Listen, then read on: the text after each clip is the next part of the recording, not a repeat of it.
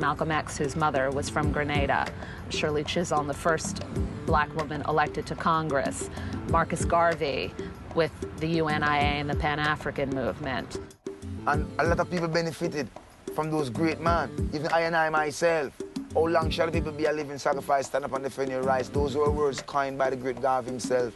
Marcus Garvey did not win with what he wanted to do because he was ahead of his time. But if we look at all the, the black upliftment movements in North America, um, it was actually Marcus Garvey that inspired all of those. The spiritual grandfather to them all was Toussaint Louverture in Haiti, who led the first successful slave rebellion in this hemisphere. The first black country ever to get its independence was Haiti in 1804. Now you're talking about a group of Haitians taking the Napoleon army. And then because those soldiers were so strong, America used them to fight for the Louisiana Purchase.